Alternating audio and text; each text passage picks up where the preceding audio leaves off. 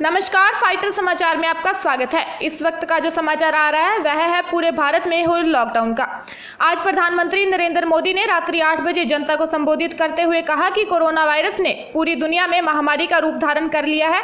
उन्होंने कहा कि जनता कर्फ्यू में हर वर्ग के लोगों ने साथ दिया और इस परीक्षा की घड़ी में साथ आकर इसे सफल बनाया। श्री मोदी ने कहा कि कोरोना वायरस ने समर्थ से समर्थ देश को विवश कर दिया है। ऐसा नहीं है कि इन देशों के पास संसाधनों की कोई कमी है लेकिन इस वायरस से निकल पा, नहीं पा रहे हैं। श्री मोदी ने कहा कि कोरोना के संक्रमण को रोकने के लिए, इसको तोड़ने के लिए आवश्यक है कि हर इंसान को एक दूसरे से दूर रहना होगा, खुद को घर में बंद रखना होगा। उन्होंने कहा कि पिछले दो दिनों में देश के अनेक भागों में लॉकडाउन कर दिया गया है और राज्य सरकारों ने इसे गंभीरता से नहीं लिया। श्री मोदी ने कहा कि पूरे देश में कोरोना के संक्रमण को तोड़ने के लिए 21 दिन पूरे देश में लॉकडाउन किया जा रहा है। यह लॉकडाउन आज मंगलवार रात 12 बजे से लागू होगा।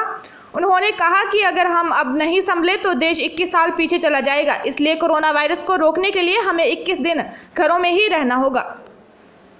ताज़ा तरीन खबरों के लिए फाइटर न्यूज़ को सब्सक्राइब करें और बेल आइकन को प्रेस करें ताकि नई न्यूज़ अपडेट होते ही आपके फ़ोन की घंटी बज जाए। Once again.